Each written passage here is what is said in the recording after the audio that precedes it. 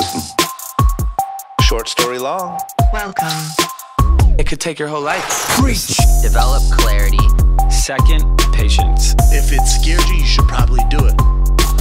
Whatever you think you don't have, you have something else in its place.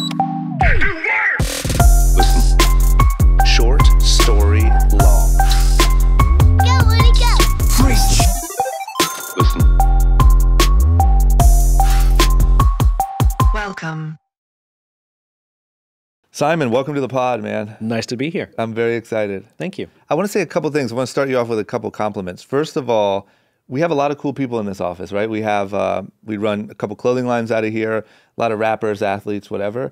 You just I don't know if you know it or not, but just walking down the hall, you just got a really big response from our staff. I did not know that. Yeah, they were in the offices. They saw you walk by. They were like, "Oh my God, is that Simon?" That's very So, nice. Just Thank so you. you. know, you are like a. I've reached rapper and athlete status. You have, man, and, and not even all the rappers and athletes get that get that response. Um, the other thing is, I have become a pretty avid reader. Um, I read about a book a week, and that's not bragging or even a goal of mine. That's just about where I've gotten to, which I'm proud of and never thought I'd be that guy. But I want to say, I never, my whole childhood, I never read. I don't remember them ever forcing us to read books at the school that I went to. The first book I ever read front to back was Start with Why. And that was the Wow. first book, that was the first time I had ever realized this is going to sound so stupid now, but that there was information in books that you can't get anywhere else that true. makes so much sense. It's true. And it was like, holy cow, man. Like, this is something that I've thought was true and that I kind of had this little instinct for, but there's a whole book about why it's true and examples. And you know what I mean? So I owe you, uh, I'm in debt to you forever Well, for that's that. very nice of you. Thank you Yeah. very much. I appreciate that. Absolutely. So, it was the first book I read too.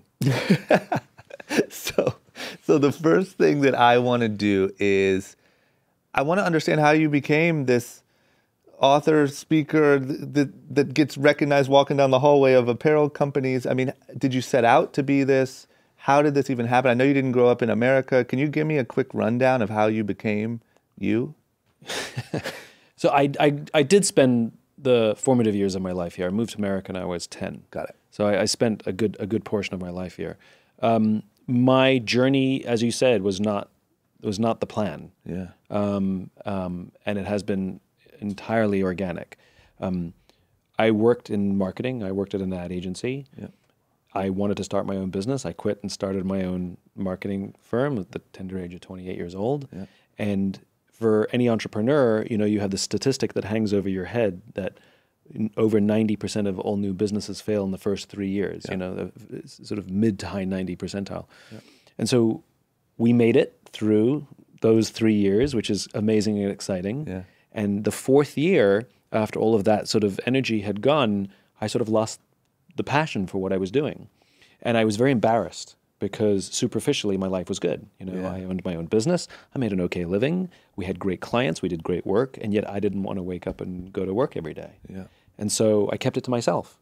So all of my energy went into pretending that I was happier, more successful, and more in control than I felt. Yeah. And in reality, I was paranoid, and it was it was a pretty dark time. And it wasn't until a friend of mine came to me and said, "I'm worried about you. Something's different. Something's wrong." And it gave me a safe space to come clean, and I sort of blurted it all out how I really felt, and it was the most cathartic experience. And so all of that energy that went into lying, hiding, and faking every day, Yeah. I now took that energy into finding a solution for why I felt this way. And there was a series of events that I'll spare you all the gory details. Um, but long story short, I discovered that there's this natural pattern that's based on the biology of human decision making, that every single one of us knows what we do. Um, some of us know how we do it, the things that we think distinguish us or differentiate us from the people who do the same thing as we do. Um, but very, very few people can clearly articulate why they do what they do. That purpose, cause, or belief that underlies it. Like, why do you get out of bed in the morning, and why should anyone care? Um, and that's the piece that was missing for me. I knew what I did, I knew how I was different, but I couldn't tell you why I was doing it. And so I went on this journey to discover my why. Um, once my why was articulated, it sort of unleashed a passion that I probably have never experienced before. Everything made sense. Yeah. And um, I did something that everybody would do, which is I shared it with my friends. You read a great book, you see a good movie, you tell your friends to go see it or read it. That's what we do, right? We want our friends to share in our joy. And so I wanted my friends to share in my joy. And I told them about this thing called the why, and I helped them find their why. And some of them were, made crazy life changes and invited me to their homes to share it with their friends. And I literally would stand in people's living rooms and talk about the why and help people find their why for a hundred bucks on the side. And uh, people just kept inviting me, and I just kept saying yes. And then they invited me to talk to their companies. They invited me to talk to their, you know, their their entrepreneur groups or whatever. And I just kept saying yes. And and it became a very wild ride, very very quickly. Gosh, that's how you know you're onto something like right. You know what I mean? Like when you have this small idea and it just resonates with you, and then all of a sudden it resonates with all these other people too. Like I think a lot of times, like you have that idea and you're like, yeah, I think that's good, and for some reason, no one else thinks it's good. You know, but I feel like when you have that magic moment of something that resonates so deeply with you, and then your couple friends, and then their friends, and then a whole company, and then um, I think that's, by the way, a big mistake that a lot of people make, especially when they go into into into business for themselves, is they try to figure out what everybody else wants. yeah, They try and imagine or guess people are going to love this. yeah, You know, and we do it inside companies too. We design something people are going to people are going to love this. Yeah, you know, course. and they don't. And sometimes you get it right, but it's a little more of a lottery. It's a little more like spinning the wheel, and you think you're a genius when you hit. Yeah. But I'm not sure that's the truth. Um, I think in reality, when we set out to solve our own problems or solve the problems for the people we love, that it's more likely to resonate with other people because turns out we're not that unique. yeah, And other people have the same challenges and problems as we do. You know, I'm not the only person. I wasn't the only person who struggled with issues of passion and inspiration. Yeah. Turns out a lot of us would like to know that. yeah, yeah. Um, so I I think those are the best companies. And if you look, if we look at our favorite companies, they were all born out of an individual or a small small group of people who set out to just solve their own problem. Yeah. And that solution became the company. Yeah, yeah, you're right. And so the the where did you did you kind of stumble on the fact that you were lacking your why? Like as you were doing like soul searching, you kind of found it, and and it came from that place that you started researching and all that No, stuff. no. I, I, I, I was in the ad world, and I was mm-hmm. always curious why some marketing worked and some marketing didn't. Why some advertising worked and some advertising didn't. And so, just as a young ad man, you know, I, I started looking at the stuff that worked, and I knew it wasn't the agencies because good agencies produce bad work. Yeah. And I knew it wasn't the creative teams for the same reason. Yeah. And there had to be something else. And so I looked at all my favorite advertising, and I noticed there was an order th- to the information it started with some sort of why at the top and sort of it, it sort of went in that as opposed to stuff that started with the what at the top Yeah, you know yeah. and so i wrote down this pattern that I, even back then i called the golden circle and it was simply honestly just to describe uh, how marketing worked Yeah. And it, i was at um, a black tie affair uh, and i sat next you know you get seated next to random people. And i sat next to someone whose dad used to be a neuroscientist or something like that at a university and we just started talking and she started telling me about the limbic brain and the neocortex and i thought it was interesting and i went back home and started googling it because it was just interesting.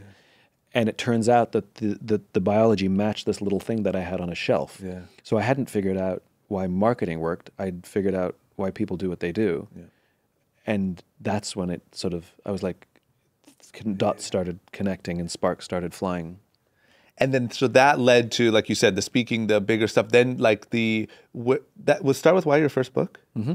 And did that naturally just become the progression after doing all this speaking and you know a book is kind of the obvious next No, thing no. Again, I, you know, understand that this was not my journey. This was not in the plan. Like I never wanted to be a public speaker. Yeah. You know, I like being behind the scenes. You know, I've always been a behind the scenes guy. so much for that. You know, yeah. Even even now, some of the work that I do that I'm most proud of is behind the scenes. Yeah. You know, and um, uh, and so I never imagined I would be be in the front of the proscenium, but there you go. And I never thought I'd be an author. I wasn't one of those people who thought I have a book in me. I just didn't never. It just wasn't my thing. Yeah. You know, you're talking to the person who decided not to do uh, a thesis in college just because it seemed like so much writing. You know, like who wants to write a hundred pages? Yeah. You know. Here you are, what, five books Oh, later? yeah, right, exactly. And uh, um, and it, somebody else, it was a friend of mine who said, "You have to write this down. You have to write a book." I and I had already been giving the talk for two years, and I shrugged my shoulders and said, oh, "Okay." And uh, I managed to get a meeting. So this is the thing. I used to talk about the why all the time. It's I was is an obsession. And so when you talk about what you believe, so people go, "There's someone you need to meet." And and so this is what happened. I would talk about my why, and my friend goes, "There's someone you need to meet." And I got introduced to this editor, and I told him my why, and he goes, "There's someone you need to meet." Yeah. And he introduces me to a publisher who happens to be the god of business publishing. He was he was the original publisher from Good to Great, you know. And I go in, and I have a 29 minute meeting with him. He has to leave for something. Three days later, uh, I get a call and they offer me a book deal. Wow. So, and and that's sort of what happened. Every time I talked about what I believed, people who believed what I believed said, "There's someone you need to meet." And so, so my career started to move fast, not because of me. I was the same idiot as I was two weeks ago. Yeah. The only difference was I stopped talking about what I do and started talking about what I believe. And people kept, kept connecting me with people who believed what I believed, which means we got along. Yeah. So, uh, that and and, it, and like I said, it really I and I and I once I realized that this thing worked, I made the decision to turn myself into the guinea pig. I wanted I, I like the scientific method. I like testing things until they fail. Yeah. Developing a theory, testing it, it fails, d- you know, tweak the theory. yeah. And so I closed my marketing business. All my friends thought something was wrong that I'd gone bankrupt or something, which hadn't happened. I'd never been more confident in my life. And uh, started all by myself again and started from scratch and didn't know exactly what form it was going to take. I thought, would I be a consultant? Was I, you know, I didn't know. Yeah. But I, I was, I was on, I was up for the journey. Yeah. All I knew was this idea resonated, and I wanted to spread it. And I got the opportunity to write the book, um, and uh, the book and the TEDx talk actually came out the exact same month by total coincidence. So people think that like one got the other one. It didn't happen that way. Yeah. Uh, the, but the publisher had no idea that I had a TEDx talk because it had never been booked when I got the book deal, and the TEDx it, they, they were completely unrelated. It was just sheer coincidence. They came out the same month, um, and that quickly became the most watched TEDx talk of all time on YouTube because they didn't put them on TED.com yet. Yeah. Yeah. Yeah. Um, and it just again the, the idea started to spread and, and more and more I became sort of I became I recognized that I I would be I would be proud to carry this message and it would it would be something that I would commit myself to. But after I wrote Start with Why, I thought I was done book writing. Yeah, that wasn't the case. Look, I, you know what I love too is like I'm sure. Obviously, a lot of authors are probably you know deeply passionate and living examples of what they write about. But you, with this why concept, I mean, you are the epitome of of what it is and what it stands for. I love that. I didn't. I guess I knew that from reading the books, but not to the extent that you just explained it. You know, where it mm. was a complete life change and not even sort of. It almost seems like your why took you in a direction that you didn't even think you wanted to go. And but now I'm guessing you're incredibly happy, very successful. Um, it sort of led you. That's really interesting. You know what I mean? Yeah, it continues to lead me. Because most people think about it like I'm going to start a business. We're going to make money. I'm going to lead the business. I'm going to say where everything goes. But it's interesting how, with businesses and with people, this idea of having a really strong why and what you're about can almost lead you. Well, I don't think of myself as the leader. I think of myself as a follower. Yeah. You know, I, I'm I am in service to an idea that's bigger than me. Yeah. You know, I have a vision of a world that does not yet exist, a world in which the vast majority of us wake up every single morning inspired, feel safe at work, and return home fulfilled at the end of the day. And I am simply a piece of the jigsaw puzzle, and I will do my job, and I'll, I will lay down my piece. And part of my, my piece of the puzzle is, you know, when you do a jigsaw puzzle, the first thing you do is you lean the box against the wall so you can see the picture. Yeah. My job is to point to the picture. Yeah. Yeah. You know? Yeah. Part of my job, part of my responsibility is to remind everybody where we're going. And it serves as a as a as a as a as a lighthouse for me also. It serves as a compass for me as well. And so um, you know, we don't have conversations at the company, at the, at the business about what's good for the business. Yeah. It, that just doesn't happen. We have conversations about what's good for the movement. And sometimes it's very in, much in the interest of the company, and sometimes we're willing to make sacrifices because it's the right thing to do to advance the business. And no matter how much stuff I get done or whatever I achieve, I've been talking about this since the first day. And like the first time I articulated the why, people said, This is amazing. And I said, Tip of the iceberg. And then the TED Talk came out and it started to go viral. And people said, That's amazing. And I said, Tip of the iceberg. And now, 13 years later, people go, It's amazing. And I go, tip of the iceberg. Yeah. Because the vision is underwater. Yeah. There's so so much more of the iceberg that we cannot see that doesn't exist yet. It's not in reality. It's only in my imagination. It's only in our imagination of the world we could live in.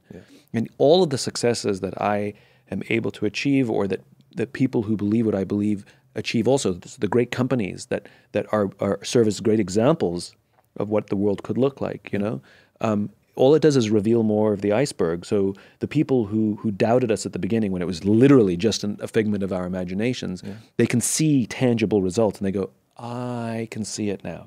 I w- okay, I'll I'll work with you because I see what you're trying to build." Yeah.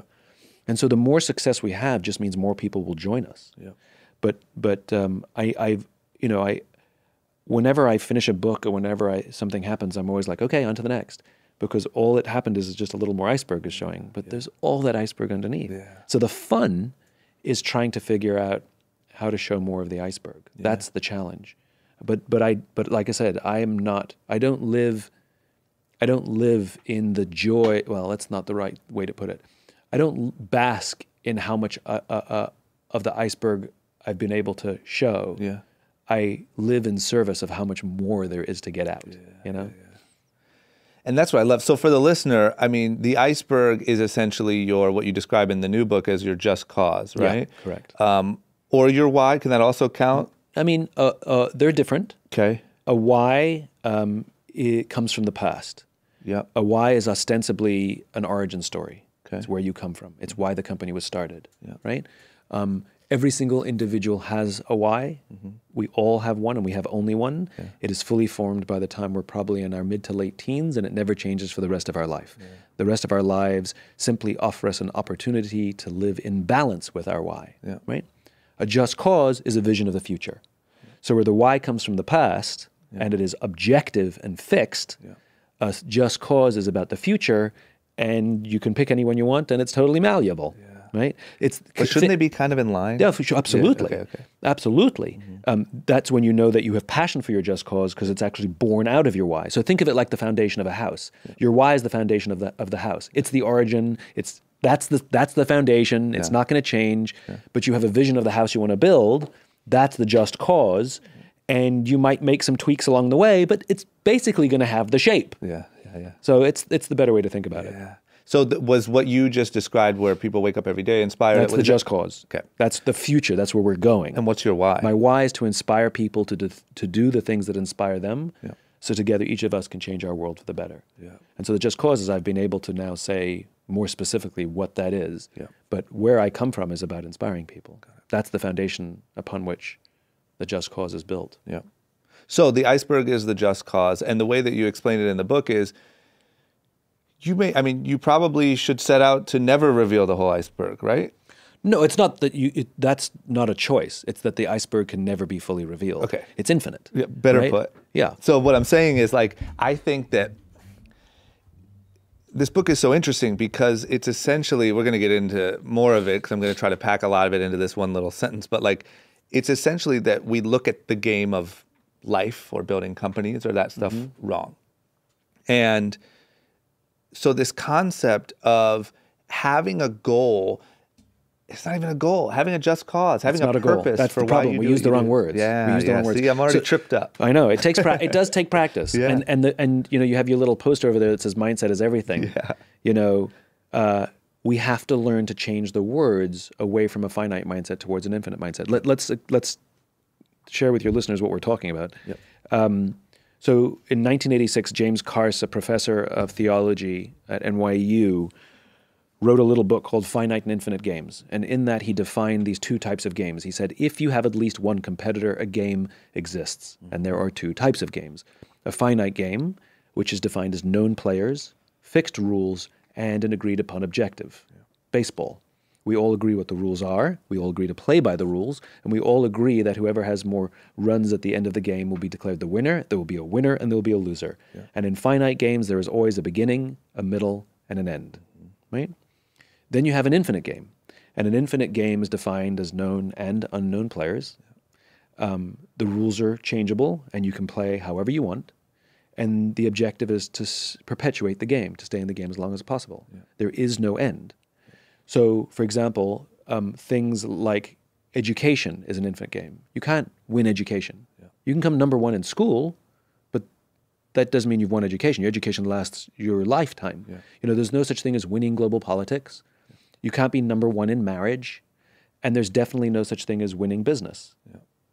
But we talk about all of them as if there is. Bingo. And that's the problem, which is you listen to too many people and they talk about being number one, being the best, and beating their competition. Yeah. Based on what? There's no agreed upon rules, there's no agreed upon uh, metrics, and there's no agreed upon timeframes. And what I love that you that you point out in there is like, so I could say, well, yeah, Simon, um, the goal is I'm going to have more revenue at the end of 2019 than this company because they are my competitor. So not only number one is the game much bigger than that, but let's just say I beat it. Then what do I do on January of 2020? Just set a different one? Yeah. And then all your employees are like, what the hell are you doing? And so I, that's where It it becomes really, a rat race. It just becomes a, a hamster wheel of, of keep new goals, new goals, new goals, new goals. And at the end of it, and I see this with senior people more than junior people, because junior people have the excitement. They have a new job. They got a new this. I just got my first promotion. I just got my first bonus. I just won my first piece of business. I- I- you know, there's a lot of novelty and excitement when we're young in our careers and we're moving our way up the chain, and "Oh, it's wonderful. And then I start to see more more senior people actually who have played that game. And they've been in that rat race and they've hit all the goals and they've beat all the targets and they've got their promotions and they're doing it again and again and again and again. And they start asking themselves when does the joy happen? Like when do i start to feel really fulfilled by this career? Because i'm doing everything i've been told to do. I've made money. I've advanced up the ranks. And yet how come i don't feel intense joy. I feel happiness m- momentarily, like when we win the client or meet the numbers. I feel happy, but that feeling goes away. When do I get joy and fulfillment that everybody keeps telling me I can get in my career? Yeah. Um, and and this is because we have the wrong mindset for the game we're in. We're, we're playing to win in a game that has no end. And when you talk about we beat the competition, yeah, but you chose the time frame and you chose the metric. Yeah. We beat them in revenues by the end by the end of 19, 2019. Yeah, but you have no profit. Yeah. Yeah. They're super profitable, Yeah. even though they have lower revenues than you. Yeah. And you'll go out of business in three years, even though you were celebrating in 2019. And by the way, they were ignoring you, and they've gone on to last for 40, 50, 60, 100, and 200 years and remain profitable ever since. And this is the problem, which is we, we, we're, we're arbitrarily setting out to beat. We chose who we want to beat. Yeah. Like, who cares? Yeah. You know? Yeah. I- I- and we become obsessed with winning in a game that cannot be won. Yeah. And that to me is hilarious. And and all of this language that we we overuse sports metaphors. If another CEO comes starts giving me a sports metaphor about how he how how they run their business, I'm like finite mindset. Sports has a beginning, middle, and end. Goals, you say, well, the goal of beginning, middle, and end. And so, though you can win a, a finite game, though you can hit a goal in the infinite game, it's about advancing something, not about achieving something. There are achievements within. Of course, there are finite games within the infinite game. We're still driven by tangible numbers. We're still driven to meet goals. That's innate in human beings. But the question is, to what end? So I'm hitting this goal to advance what? So the infinite game is the context within which all the other finite games should exist. And so every win we achieve is in order to advance something bigger than ourselves. So we never achieve a just cause, we advance towards a just cause. That's the iceberg. And the reason I feel successful more now than I did 13 years ago is because I've revealed more of the iceberg. So I'm advancing the revealing of the iceberg. Yeah. But I but there's not like I'm going to show 10 feet of it and then I'm done. Yeah. Well, there's so much more to do. I get it. And so it's it's very fulfilling. It's not like, oh, but you always have more work to do. I know, but that's the joy. Yeah. The joy is is that it never goes away. And that's the idea. You talk about it a little bit, but the idea that um, that's what leaves a company or an idea for someone else to pick up after you're gone. Of course. And that's how you live forever. Of course. Right? So Of it's course. much more fulfilling in that aspect. so many companies are basically driven by force of personalities. Yeah. You know? And when those personalities, even if they're remarkable and inspiring and wonderful, yeah. once they leave, either the business completely collapses or it goes sideways. And we see this with very large companies. We saw Walmart go sideways, mm-hmm. we saw Microsoft go sideways, we saw all of these companies go sideways because the vision and inspiration left and the obsession with winning Disney went sideways. You know, the, the obsession with winning and being number one and dominating the globe is what occupied the new CEO. And we hated them. We didn't want to work for them. We And didn't want I- to buy from them. What I love that you can point out is you can almost say, well, you can say, here's companies like Walmart and Disney who had very strong sort of just causes. At the beginning. Yes. Then you see where the original founder or original CEO is gone. You can see where a person who was driven by It's money making me very in. insecure, by the way. That's good for video. then you can see. I need to make sure from now on, all of our water bottles got to match in size. His Uh, is huge and mine is tiny. I have like the miniest mini little Um, water gave him a bottle. shot of this is water like a ba- have a is like this is like a Barbie water bottle you gave me. Okay, so so you can see where this guy leaves, a CEO driven by money comes in, and then you can also see where somebody comes back back in who seems to get the original just cause and kind of turns things around. Yes. That to me is fascinating. Yes. Because I think it's easy to say, well, yeah, this guy was the founder. Of course he had all this passion. This guy's driven by money, it tanked, happened. But to see someone come back Correct. in and properly translate the just cause again and show the effect that it has Yeah. on the business is incredible. Yeah, and and we, you know, Steve Jobs came back to his own company to restore it. Michael Dell came back to his own company to restore it. Howard Schultz came back to Starbucks to restore it. Um, Doug McMillon has come back, or he's still there, but he got promoted to CEO at Walmart and has restored the Just Cause. Satya Nadella is uh, taken over as CEO of Microsoft. He's put the Just Cause front and center, and all of a sudden we like companies like Walmart again. And all of a sudden, we the top talent wants to go work for Microsoft again. Yeah. Um, you know, and they were lucky that they had a lot of money because the money provided them runway, just like a startup. But eventually, money does run out. Um, and so, if you if you don't get back to that infinite drive again, then then eventually the company will go bankrupt or, or just get acquired by someone else. Yeah.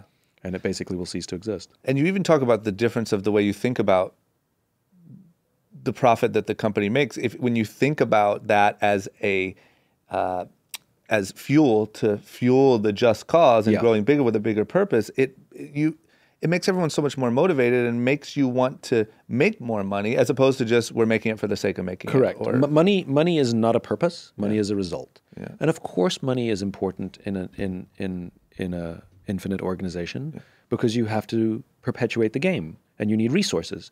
But there's two there's two currencies in the infinite game, which is will and resources. You know, in a finite game, for most businesses, it's only about the money. They know that the people thing is important, Yeah. but the money is the thing. The money is the metric. And in the infinite game, it's will and resources, and will comes before resources because um, f- resources, i.e., money, is finite. I mean, you can run out of it. Where will, the this it's infinite, like the will of people.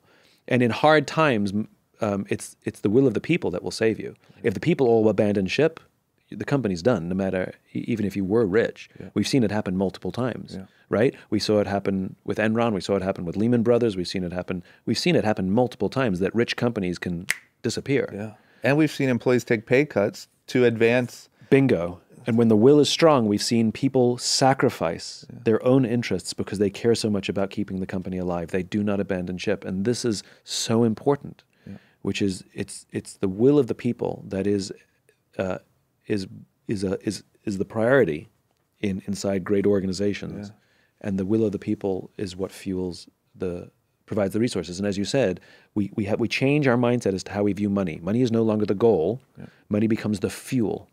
And if you think about the company as a car, and the just cause is the is the is the destination, the iceberg that you're trying to reveal.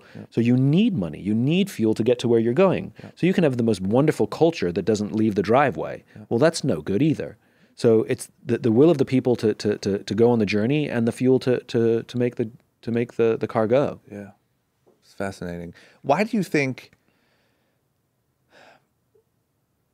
why do you think that we don't get this? Do you think it's just easier to think about it in sports metaphors and that's how we're kind of always Well, it- taught and I I mean, human beings are very tangibly driven animals. You know, what what it what motivates us is the ability to to to see things and count things. Uh, you know, if you say you will get a bonus if you hit this target by this date, I'm golden, man. I can frickin' drive towards that, and and I'll hit that target. But if I say to you, you'll get a bonus if you accomplish more, you're going to be like, well, uh, how how much more? I'd be like, more. Yeah. It's unnerving. Yeah. And so we're very tangibly driven animals. I mean, it goes back to caveman times. You know, we need to see the thing we want to get, and we go after the thing we want to get. And the mat- the metrics help us help us feel like we're getting closer. But but that doesn't fulfill these these deep seated desires to for psychological safety or to feel a part of something bigger than ourselves, to, to feel some sort of belonging to a tribe. Um, that, that doesn't fulfill those, those deep seated human needs. And so there, ha- there is more than simply, you know, killing the gazelle and eating and building the house and making more money. There's more. And, and it's a human being thing, you know? And so, and so uh, it's not, it's, uh, uh, we, we default to the things that are easier to count. It's much easier to count money than inspiration. You know, you, you know, it's it's it's people. You know, people who say that these things don't exist. It's not that they don't exist, and they're not. It's not the universe trying to provide for anything. It's just that they're hard to measure. Like, how do you? You know, Gary Vaynerchuk talks about this, which is what's the ROI of your mother? Yeah. You know, like, do you know your mother loves you? Yes. yeah. Prove it. Yeah. You know, like what's, and I don't mean like she made me lunch. I mean like show me the numbers, show me the metrics. Yeah. Like show me the numbers to prove to me that your girlfriend or boyfriend love you. Yeah. You don't have one. It's a feeling. Trust is a feeling. Love is a feeling. It doesn't mean they don't exist. Yeah. It just means they're hard to put into numbers. But over time, they're very easy to put into numbers because over time, the traditional metrics actually benefit from things like trust and love. So a, a family and a couple that love each other will probably have more successful kids and be more successful themselves because they have a support structure. A company where there's lots of trust over time will outperform all companies because because it matters. So over time the traditional metrics are very handy, but it's much harder to measure in those discrete packets. Um, and the irony is some of it is actually very easy uh, to recognize, if not measure. Like you know, in in in so many of our modern businesses, we we think uh, performance is the thing. I'll tell you a funny story. It's it's one of the stories in the book that you may remember. Yep. Um, so I, I had the opportunity to visit with Navy SEALs. Yeah. Right. Love that part. And I met the director of training. Um, and I asked him a very simple question: How do you choose? Right. It's not Yeah. like how do you choose? Yeah. you know and um, they said that um, they look at two criteria they look at performance and trust. Yeah. and the way they define those terms is performance is how you perform on the battlefield. Trust is what kind of person you are off the battlefield. So the, the way they put it is i may trust you with my life but do i trust you with my money or my wife? Right? They're seals. So so just because someone's good at their job doesn't mean we want to spend time with them on a weekend Yeah. right? How do you measure that? so, so what they do is they look at those two axes, and clearly nobody wants the low performer of low trust. Mm. Clearly, everybody wants the high performer of high trust. Obviously, what they discovered is that the high performer of low trust is a toxic team member, and they would actually rather have a medium performer of high trust, sometimes even a low performer of high trust. It's a relative scale Yeah. over the high performer of low trust. Now, if you think about it in business, we have a million metrics to measure someone's performance and minimal to no metrics to measure someone's trustworthiness. And I would argue that a lot of high performing, low trust people are getting promotions and course. thriving in business. Of course, and, and what it does, it sends a message to the rest of the organization, Yeah. which is we don't care how you hit your numbers. As long as you hit your numbers, you will do very well here. So we actually accidentally incentivize dishonest and unethical behavior. We actually incentivize people to hoard information instead of share it and stab each other in the back instead of help each other grow, right? Not on purpose, right? Um, and the irony is that it's so easy to, to find those toxic geniuses, which is simply go to any team, ask them who the asshole is, and they'll all point to the same person. Yeah. Right? And equally, if you go to that same team and say, who always has your back when the chips are down, you know they'll always be there for you, they will also all point to the same person who's probably your most gifted natural leader who actually helps the whole team's performance rise, but they may not be your best individual performer. Yeah. And so what we're doing is promoting the toxic asshole while ignoring the, the, the leader who's actually helping the team grow as a whole. And, and, and a lot of CEOs are chicken. Sometimes they even know who the toxic geniuses are.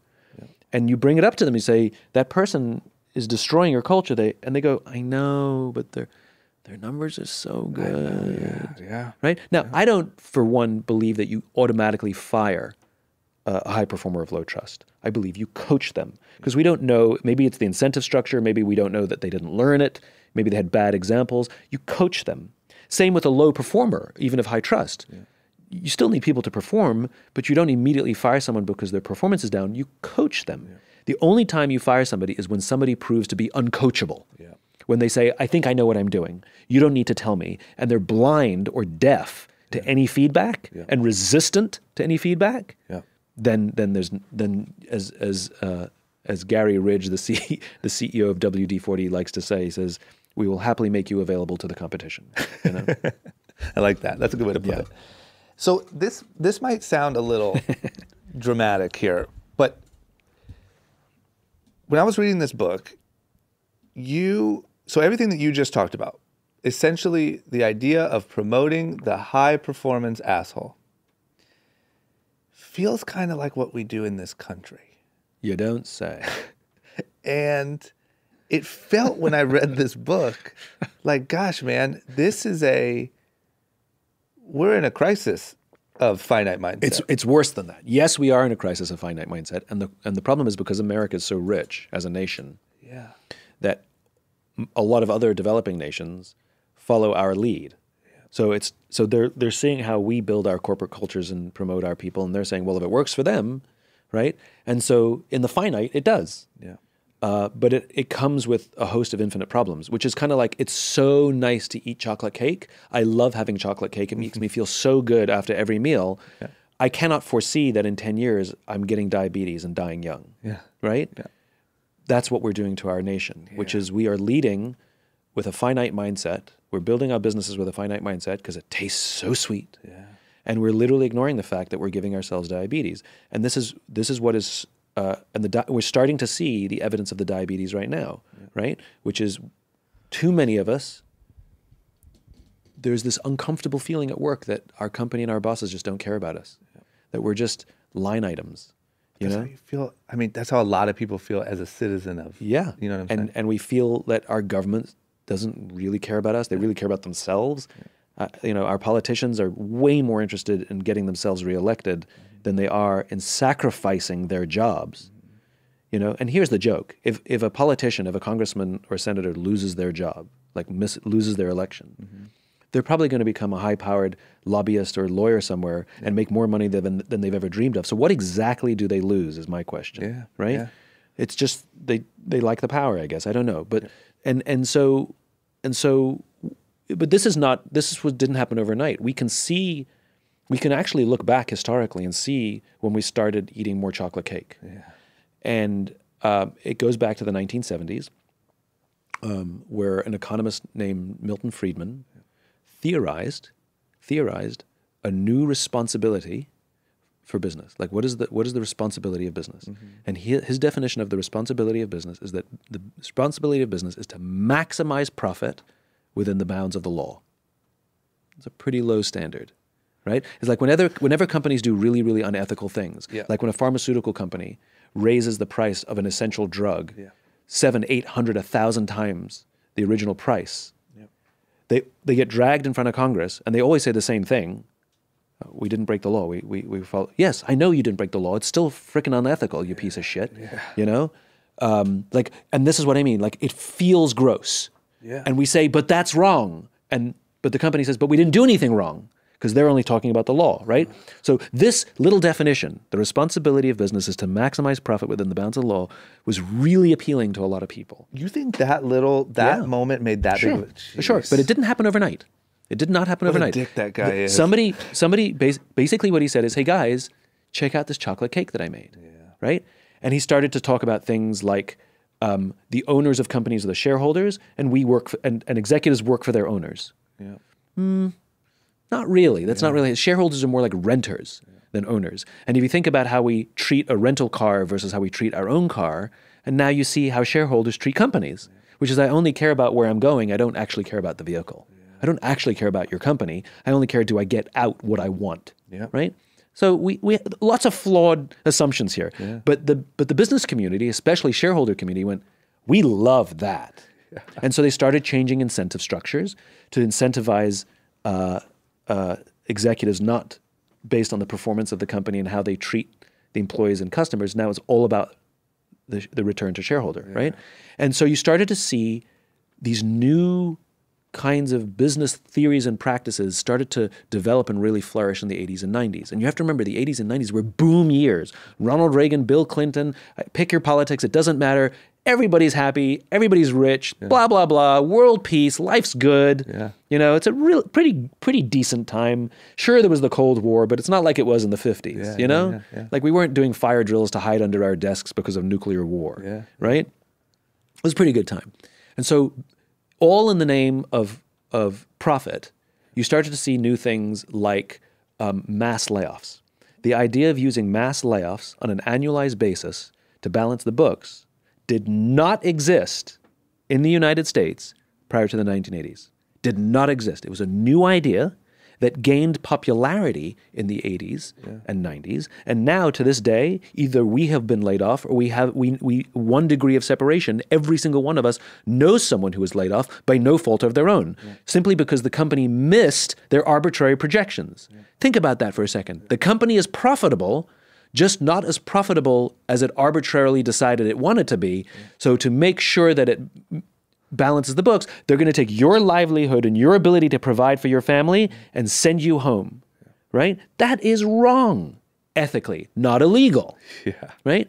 And we started to see systems like rank and yank where you you top grade the people, you rank all of the people's performance and you you promote the top 10% of performance performers and fire the bottom 10%. Well, as we just talked about with toxic geniuses, we're literally eviscerating some of the the real talent inside our organizations that hold the culture together and we're promoting bastards. Right? And then you start to see uh, you start to see uh, time frames become shorter and shorter and shorter because finite mindsets, people who operate with a finite mindset, do not like surprises. They like to exert control, um, and they do not like uncertainty. So if we make the time frames really short, we can exert a lot of control over performance in a quarter. Five years, ten years, very difficult. An infinite mindset embraces uncertainty, embraces surprises, sees opportunity in, in, in surprises, right? So you see all this finite mindset, all this chocolate cake we're consuming, and everybody's getting rich, and the top 1% are getting richer and richer and richer. And we saw the average CEO's uh, pay uh, increase uh, 70 times, 75 times more than the stock market. We saw the average CEO's pay go from uh, 30 times the average employee to something like 250 times the average employee, you know, where the average employee saw their pay go, grow, raise 11% right? It just became twisted. And where you have mass separation, you have discontent. So we see a rise of a populist of a populist message. And I don't care what your politics are. You know, go to the last election. If if you were on the left, it was Bernie Sanders, and if you were on the right, it was Donald Trump, right? But both of them were preaching a populist message. And we're seeing people rebel against capitalism. Capitalism is not the problem. It's the Milton Friedman 1980s and 90s Reagan Clinton version of capitalism. It's this modern form of diabetes capitalism that we have now, where we consume ourselves with chocolate cake, right? Without any sense of responsibility. That's the capitalism we have. It's not real capitalism. It's not the capitalism that Adam Smith envisioned over 200 years ago. It's not the capitalism that made America what it is today. That capitalism puts the human being fir- first and foremost. It prioritizes the health of the customer. It insists that you look after the employee. It is, it is, a, is a, it is a production minded, uh, uh, it is consumption minded rather than production minded, right? Um, and we've abandoned real capitalism. Capitalism is a very wonderful, good system. But this modern form of capitalism that we have has been completely twisted. So when people like me speak up, I'm accused of being naive. I'm told I don't understand how business works, and I'm told that I'm anti capitalist. And I always say, well, let's beware the messenger. Who are the people who are criticizing me and calling me naive and anti capitalist? Oh, it's the people who are benefiting most from the status quo. Of course, right? It is a very, very, very small percentage of people who benefit from this bastardized form of capitalism that are quick to criticize the rest of us. And yet the rest of us are the ones going to work and they're profiting off of our blood, sweat, and tears. And we feel really uncomfortable. Now, we have no problem with our leaders making more money than us. That's no problem. We don't nobody has a problem with somebody more senior making more money. I, you know, it doesn't morally offend us as long as they are willing to take care of us. It's tribal. And yet, too many of us, dare I say, the vast majority of us, right, go to work not really feeling safe, not really feeling like we could be trusted or that we trust our leaders. You know, it's just we, the company makes decisions that, you know, we go along with them, but it's uncomfortable. I can't really put my finger on it. Sometimes we know we do things that are wrong, but we shrug our shoulders and we rationalize and we say, hey, man, I got to put food on the table. You know, it's what my boss wants. Look, everyone's doing it. Hey, man, it's the system, right? It's just how it works. And they're rationalizations we tell ourselves to deal with the discomfort. But I say instead of trying to just, you know, numb the discomfort, let's take a look at the root of the discomfort. And it turns out we have broken our very, very good system of capitalism and we need to repair it. We need to pull back on the chocolate cake and eat a few more vegetables. Sure, they don't taste as good, but they make you live longer. And they make you happier and they make you sleep better. And they make your friends like you more. And they make you feel safe and good and in shape and confident. And isn't that what we all want at the end of the day? So I'm a massive capitalist, just not this form of it. Yeah, yeah. I, I want I want uh, I want us to reverse a lot of the, the Milton Friedman influence. Yeah, it makes perfect sense. And I couldn't believe when I read the book that that just way of looking at it, the Milton Friedman way, caused that big of a Yeah, but, but it- again, it didn't. It didn't. You know, there's a lot of movements that start course, with, start course. with a person with an idea, Of course. and they gain they gain acceptance and they gain popularity, and people take that thing and make it their own. Civil rights. You know, Martin Luther King may have had the dream, but it became our dream. Yeah. and we continued without him. Yeah. you know. Well, Milton Friedman may have written an article, but a bunch of other people went that. I know, I know. know? That's the problem. So- it's like there's the version of that that you talk about when you started talking about your why, and Yeah. then there's that version where like the sharks are Yeah. like that. and it took 20 work. or 30 years for us to get to where we are. Yeah. And it's going to take us 20 or 30 years to get to where we need to go. Yeah. And I'm okay with that. You know, this is and and by the way, our movement, what you and I are discussing, and the people who are listening and nodding their heads, we will last longer than every politician and every CEO. Because our job is not to win and our job is not to beat them.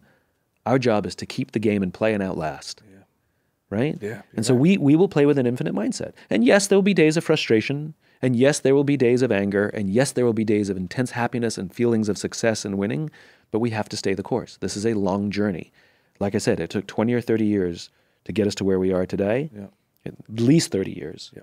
It's going to take at least 30 years for us to reverse it, but there's an appetite for it. Yeah. I would not have been able to you and I would not be able to have had this conversation in the 1980s. No. Even in the 1990s. Yeah, yeah, yeah. We'd have been, we'd, no one would be listening to this podcast. We would have been laughed. No one would have bought a book or watched a talk. We would have been laughed at Yeah. how clueless we were. There's an appetite for it. And the reason there's an appetite for it is because it, people know it's uncomfortable. And we don't necessarily know what it is. We just want the discomfort to go away. And so we talk obsessively about work life balance. You know, yo- no amount of yoga is going to fix that feeling Damn it, Simon. right? Work yoga, mindfulness will not fix your feeling of work life imbalance. Yeah. The problem is you feel safe at home and you don't feel safe at work. Until we fix the capitalism that we're living in so that it's true capitalism, not bastardized false capitalism, right? Uh, that feeling will never go away. I'll tell you what. If we fix it, it's bad news for yoga. Business is going down. There's a lot of people trying to. But even yoga's the- become a business, hasn't it? I was like, That's what I'm saying. You Though there's a lot of. I think a lot of the customers are driven by that lack of like, what am I even? of course. Where's my thing? Of course, like so many things. Yeah. Like so many things. I um. That's why once again I, I, I the reason why start with why At least it's healthier than drinking. It's true. That's another way to escape. That's another that. way to numb Yeah. to numb the pain. But I don't know you find as much purpose in there. Lasts longer than an hour long yoga session though. I um, that feeling, the feeling I just sort of that drove that question about the country and the state of things as a whole is is why when I read Start with Why and now the new book uh, Infinite Game, I I've I felt this bigger. you know, a lot of people can look at those, I think, and be like, oh, that's for like if you're a business guy or mm-hmm. you're an entrepreneur or mm-hmm. whatever. Mm-hmm. There's so much in both of these things. I think even more so than the country or polit- in a political sense, I think there's a general just crisis of purpose across the whole, you know, it ties into what we just talked about. But I think people, you know, people aren't as religious anymore. Um, and I'm not fighting for that. I'm just saying I think across the board there's this lack of what the hell is my mission even here? Yeah, I mean, I joke that I write philosophy books cleverly disguised as business books. Yeah, I think you know? do. and and for simple reason, because who wants to read a philosophy book? Yeah. you know. Yeah. Big time. Um, and because I, I'm not, I don't rage against the machine. Well, I guess I did just rage against the machine. Yeah, you did literally. A little bit. Yeah. literally, literally, I raged against the machine. Yeah. Um, you know, m- during the Great Depression, unemployment reached 25% in this country. And during the last recession, uh, it reached 10%. What I hear is 90% still have a job. When even during the Great Depression, what I hear is 75% still have a job. So my strategy has been if you want to get to people, get them at work because that's where they all are. And instead of go knocking, going from door to door, knocking on people's doors saying, "Hey, can I interest you in a different way of thinking about your life?" Yeah. I simply say, "Let me show you a new way to go to work, whether you're leading the job or being in the job." Yeah. And people go, "Oh, I need that. I spend more time there than I do at home." Yeah.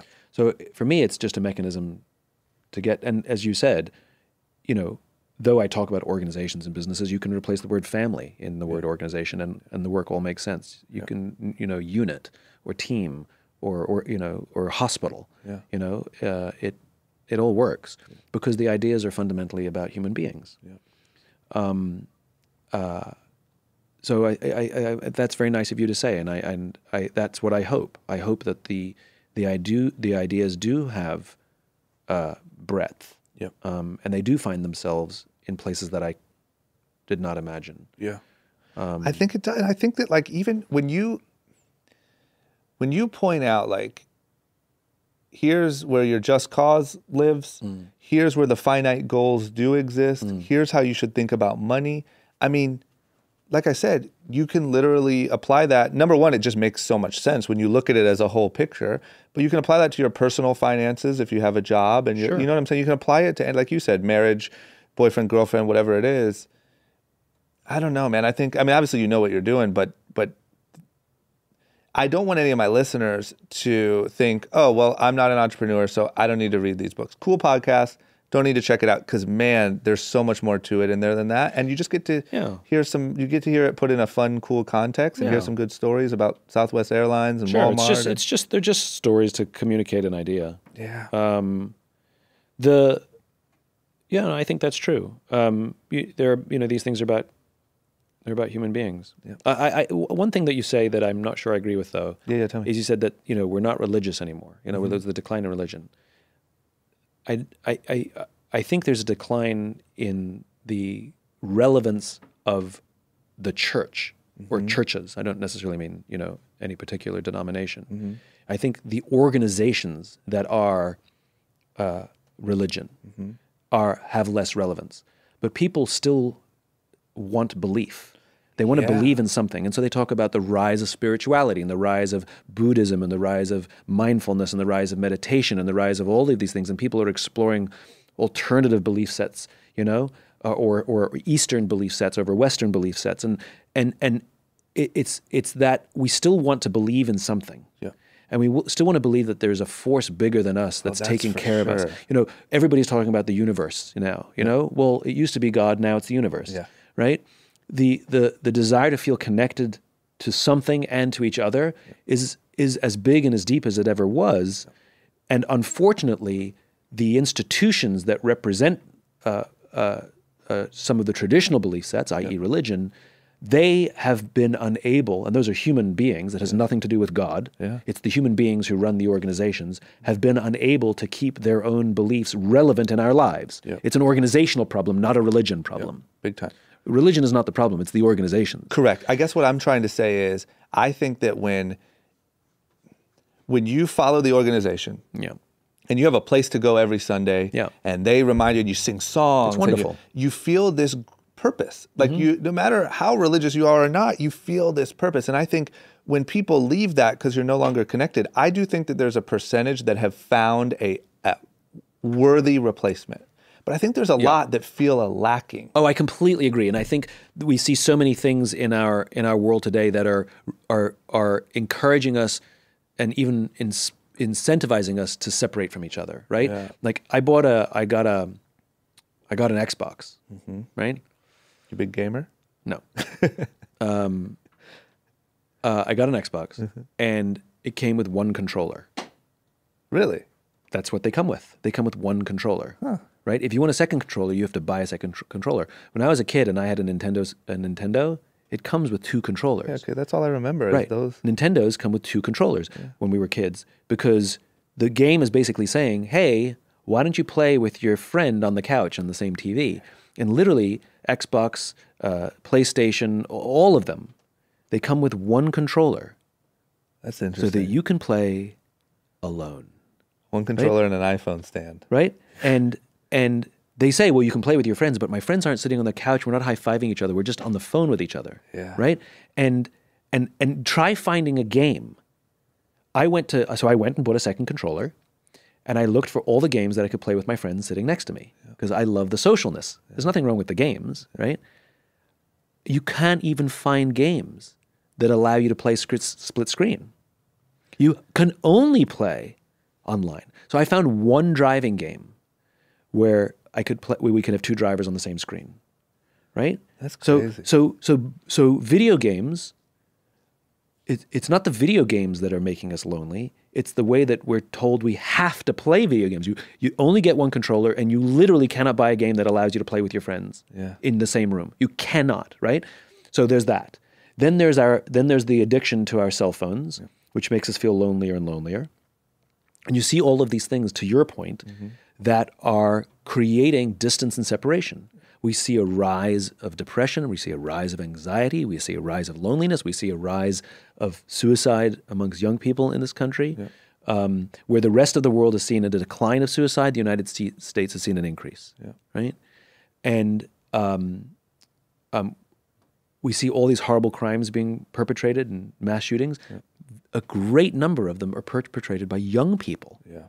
Lonely people, right? Suicide and mass homicide are basically the same thing. They're they're they're an they're an act of uh, uh, an attempt to take control when we feel out of control. Yeah. When we feel like helpless and we can't turn to anyone, we attempt to take matters into our own hands, and we do something extremely destructive to ourselves or to others. They're they're they're very similar in, in the motivations. You know. Um, uh, and so I think the problem that we have is is loneliness. And so if spirit, I'm I'm open to any spiritual anything mm-hmm. that that brings us together physically, and and even even the way that we Americans are practicing yoga and mindfulness and meditation is so damn lonely and selfish. Let me give you a perfect example. So I I was I was in this meeting uh-huh. and sitting next to this big timey yoga instructor. Apparently, she was a big time yoga instructor. Uh-huh. And I was sitting next to her at this meeting, and the entire time she was on her phone, like under the table. I was sitting right next to her, right? And I could see it's not like her grandmother was in hospital and she was getting, you know, updates. Yeah. Like she was on Instagram and like Facebook and she was just, I don't know what she was doing, right? Yeah. And at one point we were talking about yoga and how yoga helps people. We were talking about being present. We were talking about the importance of being present. That's mm-hmm. right. And she perked up and she goes, That's why I love yoga. It helps me feel present. I'm like, You've been sitting on your phone this whole time in this meeting. You- you- and, and it started to occur to me how we use yoga and mindfulness and meditation because we want to be present. The problem is, it's become selfish. I want to be present. I think we want to look it's, present. It's for me. And, and I think, I think you are not present. We are not present until somebody else says we are Yeah. right? That when some, when we sit down with our friends and they go, "Thanks for listening, congratulations, you're present." Yeah, yeah, yeah. When somebody says to us, "I, I really feel you're present with me," you're present. When somebody says, "I feel heard," thank you. In a relationship, when your when your partner says, "I really feel heard," you are present. But if you don't get that feedback, you are not present. And the reason to practice meditation is not for yourself, it's for others. So you practice meditation. It is a practice. And we learn like when you have a thought and you label it a thought and push it out of your head so you can clear your mind, it's so that when you're talking to someone and they're telling you their they're, they're telling you their feelings, Yeah. that you have learned to take those thoughts that keep popping in your head, instead of just waiting for your turn to speak, you've learned to put those thoughts out of your head, bring them back later, so that your mind can be filled with their words and their feelings only. That's why we practice meditation. We practice yoga so we learn how to breathe, we learn how to be there for each other. Right? These practices are not selfish, but we've made them in typical American fashion. We've taken these beautiful Eastern things that are actually about connecting with people, and we've made them all about me. You know, Yeah. it's my yoga and it's my meditation. Yeah, and I think me. so much of it is terrible. Like like I said, to look, it's become cool to be present. So now it's become the cool. game, to- But you get to declare it, right? I'm I'm present. Yes, I'm currently present. If you haven't seen, I posted three yoga pics last week on my Instagram. Do you see how present I've been being? Right. Like it's become how can you be seen as present by posting that you meditate? Right. That's and then scrolling while you're in a meeting to see if anyone likes it or not. To see if everybody sees how present I am. Exactly. I just love the irony, right? It's such magical irony. It's interesting. I love it. And Oh, I, you know, man. there's an entire section in the bookshop called self-help. Yeah. And there is no section in the bookshop called help others. yeah. And that's what's missing. Where is the help others industry? Yeah. Where where are the books and the courses and the to, that that are encouraging us to do things with each other and for each other? Because damn man, I want people to do things with me, and I would love people to do things for me. Yeah. And turns out I have to like the leader. What makes someone a leader is the one who goes first. Doesn't mean you have rank. It just means you know what I'm going to do something for you with no expectation of anything in return. And um, this is the opportunity. I'm fine with people playing video games, but play them with each other. You know, I, I, I'm fine with people having phones, but not when we're at dinner with each other, not when we're at a meal with each other. You see it all the time, you know, and conversation is a strange thing. Conversation, i i- it's kind of like a car, it takes time to warm up. Yeah, yeah, yeah. You know? So you, you go out for dinner with a friend, even if you don't have any phones on the table, and the conversation is sort of nonsense at the beginning. It's like, oh, it's like it's like superficial. But but as the dinner goes, it gets deeper and deeper and better and better. But the problem is every time somebody picks up their phone, it resets. Yeah. It's like turning off your car and leaving it for the night. You have to warm it up again. And so you see people, they talk for a little bit, and then they put their phones up, and they're talking, but it's superfi- It's still superficial. There's no depth, and so that's why we don't feel connected with each other anymore. We struggle to feel connected, I should say, is because even the conversations when we have them, we don't allow them the time and the space to go deep. You know, I, when I go out for dinner with friends, I give my phone to the person I'm with. So I literally don't have it. So I, I have to go to the bathroom without my phone because I don't have my phone. Yeah. Yeah. You know? Yeah. And we'd all do it. You, as you're walking to the bathroom, we're pulling our phones out, and the person who's left at the table, God forbid they should be by themselves for five minutes, the phone comes out. Yep. We don't sit back and just take, give your, trade phones. Don't just put them in the middle of the table. Give away your phones. Yeah, that's a good idea. right? And then when you're done at the end of the night, everybody gets their phone back. So you can get your Uber, you can go home. Yeah. You know? Yeah. Um, and and it's again it's like it's the analogy going back to the beginning it's the chocolate cake we want the we want the dopamine hit it feels so good that phone every time we get something. But i urge you to eat more vegetables which just means being with your friends. And sometimes it's a little boring and sometimes you just stare at each other. But if you just keep doing it you start to get healthier and feel better and feel connected and the conversations get deeper and the friendships get deeper and the trust gets deeper. And we and unfortunately all of these things that we're talking about take work. That's the like problem. you don't get to take a pill and get into shape like you unfortunately you have to go to the gym and even if you hit all your fitness goals you still have to keep going to the gym for the rest of your life Yeah. and what we're talking about with this infinite game is much more of a lifestyle than it is an event or a practice it's a practice Yeah. it's not a it's not something you you do once Yeah. it's something you you learn to live. You know, you don't just go to a yoga class. Yeah. You know, you, you know you, you go to you you you you're all mindful and go to yoga class, and then somebody cuts you off on the highway, and you start giving them the well. That's not very mindful of you, is it? Nope. You can also just go sorry, Yeah. and it's all good, even if you didn't do anything wrong. So what? Yeah. As soon as you say sorry, you know it's over. Th- There's a wonderful story of two monks. Mm-hmm. Uh, two monks are are traveling, and they come up to a a, a river, a stream, and there's an old lady standing there, and she looks at them with wanting eyes. And the the old monk, there's an old monk and a young monk, and the old monk says, "You know, come with me," and he carries her across the the stream, and they get to the other side. He puts her down, and she just walks away. You know, And the two monks keep walking. And three, four miles later, the young monk says, I, I, I, weren't you angry? You carried her across the stream and she didn't even say thank you. Yeah. And the old monk looks at him and says, I only carried her across the stream. You've been carrying her ever since. Good. right? Yeah, and we- so yep. you think about it like somebody cuts you off, and we literally are still talking about it like a mile down the street. So true. Like, just say sorry, and it lasted a second. Yeah. Like, that's mindfulness. Yeah. It's not Not the getting Instagram pissed off on my way to my yoga class and then getting pissed off on my way back. Like, that's that's us. Like, that's that's who we are these days. Yeah. And I think I think our nation needs to hold up a mirror and say, uh, I could probably do a little better. Yeah. You know? I agree. Okay, that's a perfect place. I got to let you get going. I have two big ender questions, but I just want to say, man, I'm so happy with how this conversation went and like the fact that it went there because when I read your books, once again, I'll say it again, I just felt like, man, this is more than business. This will help a lot of people. And I didn't know if when I brought it up, if you'd be like, oh, yeah, I guess so. Or if, you, but you can tell there's so much more to it than that. And there's so much more to your mission than that. And so thank you for everything that you're doing and Thank for, you. know, hiding it so well.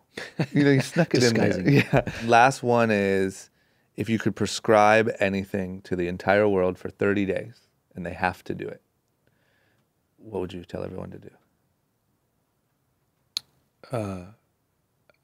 Like two things popped in my head. Am I allowed to say two? Yeah, you can say two. So one is super easy, which is to to to really find the, the right balance for the telephone. Yeah.